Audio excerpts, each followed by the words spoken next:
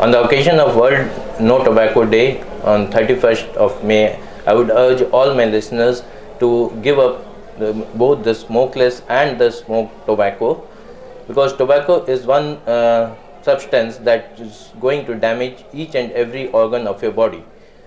So I would always urge each and every one of you to live a healthy life and give up tobacco for yourself and your coming generations.